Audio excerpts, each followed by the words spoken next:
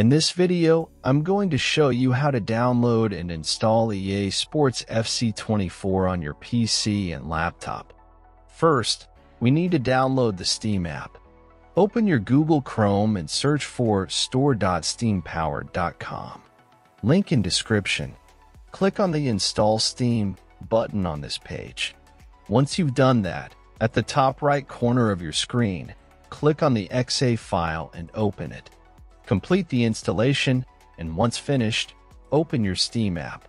Now, click on the search box at the top right-hand corner and search for EA Sports FC 24. To download the game, scroll down and choose between the Standard Edition or Ultimate Edition. For this demonstration, I'll click on the Standard Edition and add it to the cart. Now, select the game, click on Purchase for myself, set up your payment method, and you're good to go. After completing the purchase, go to your library. You can use the search box to find EA Sports FC 24 or navigate directly to the Games category. Find the game, click to play, and that's all. Thank you for watching. Please like the video if you found it helpful.